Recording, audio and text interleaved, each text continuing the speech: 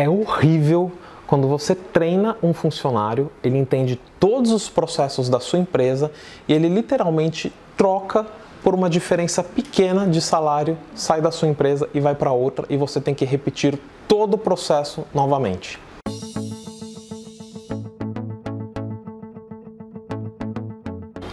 Salve transformadores! Aqui é o Nando Gaspar falando, tudo bem?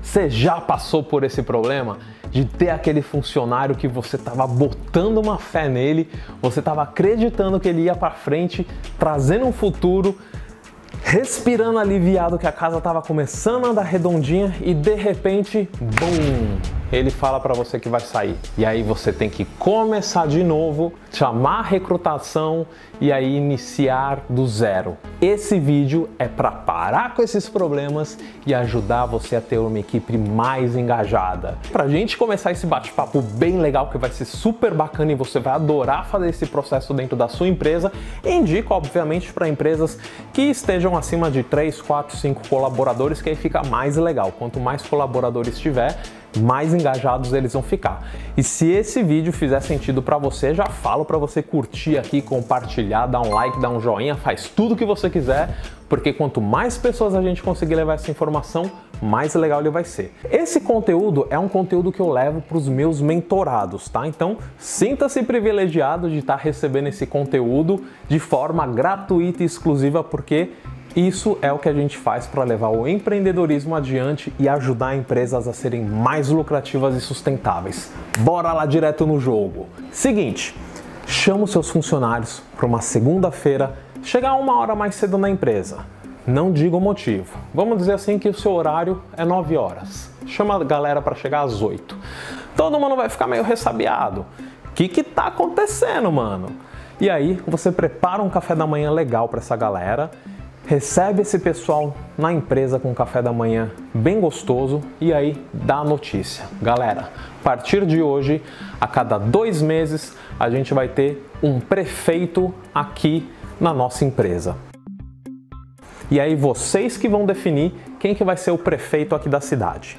A cidade é o seu estabelecimento, você que vai coordenar. E aí você destina uma verba. E a verba é você que vai coordenar. Depende do tamanho da sua empresa, é claro. Eu vou dar um exemplo aqui só para a gente ser mais lúdico. Se você tiver cinco funcionários, dá uma verba de 500 reais. E aí eu vou designar aqui o Luiz. O Luiz vai ser o funcionário prefeito do mês. Luiz vai ter uma verba de 500 reais para ele fazer o que na concepção dele é o mais legal e mais importante na visão dele para trazer mais junção dentro da empresa. Ou seja, ele vai ter um conjuntinho de cinco regras para gastar esse dinheiro. Então, Luiz, esses 500 reais você vai ter que trazer melhorias para dentro da empresa, você vai ter que trazer união para dentro da empresa, você vai ter que trazer formatações de trabalho mais inteligente e você vai ter que dizer, obviamente, o porquê e esse dinheiro não vai em cash na mão do Luiz ele vai ter que trazer uma nota, um boleto, enfim, alguma coisa assim que seja interessante. Olhe os cases dos meus mentorados e de pessoas que eu já ouvi falar que são super legais, que vão te ajudar a se inspirar. Teve algumas pessoas que esse dinheiro reverteu-se para fazer um jantar beneficente. Teve pessoas que fizeram marmitas, teve pessoas que compraram muitas coisas que faltava dentro da empresa, e aí as pessoas, cada uma, como tem uma percepção diferente da empresa, vão sentir necessidades diferentes. E aí elas vão trazer para a empresa o que para ela, na visão dela, falta dentro do ambiente.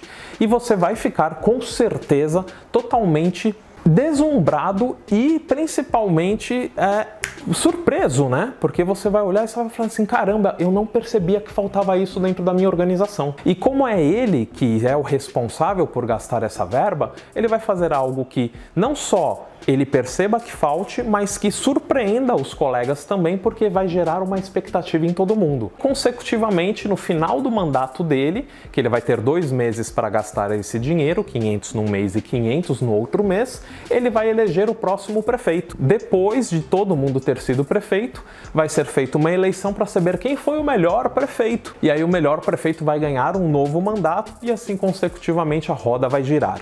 O que, que acontece com isso? Vai ter mais engajamento dos funcionários, eles vão ter sensação de pertencimento, eles vão entender como se gastar melhor o dinheiro e eles vão ter mais senso de colaborativismo dentro da organização. Isso vai fazer com que, além de trazer melhor engajamento, vocês vão, obviamente, mensalmente ter essa convivência no café da manhã para trazer essas novas políticas e dizer o porquê que comprou e trazer, obviamente, o relatório da onde gastou-se aquele dinheiro. E aí todo mundo vai se sentir mais pertencente, vai se sentir mais acolhido, vai se sentir fazendo parte dessa equipe. E obviamente, quem que não gosta de se reunir em volta de um café da manhã uma vez por mês na segunda-feira, que é o dia mais boring de trabalhar dentro de uma organização, não é verdade? Esta é uma dica de ouro, que se você fizer aí na sua organização, tenho certeza que você vai deixar os funcionários muito mais unidos, amparados e a sua empresa muito mais redonda. E aí eu quero que você comente aqui comigo o que, que você achou dessa dica ou se você já conhece alguém que já aplicou isso, porque é de ouro isso. Já fiz, compartilhei e todo mundo que fez se deu muito bem. Quero que você faça também e fale aqui comigo e a gente se vê no próximo vídeo. Um forte abraço!